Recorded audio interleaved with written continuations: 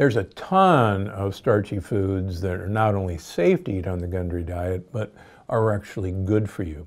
And these are what are called resistant starches. These are sugars that we don't digest very well, but the bugs that live in our gut love.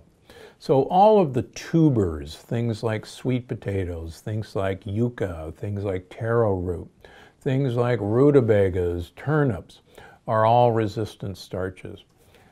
Green plantains, green bananas are resistant starches. Jicama is a great resistant starch. So the more of these starches you use, the better. Also, the starches in millet and sorghum are quite a great starch because they're a resistant starch, so don't be afraid of those either. Plenty of starches on the Plant Paradox program. Thanks for watching. Click the circular channel icon to subscribe and make sure you don't miss a single video.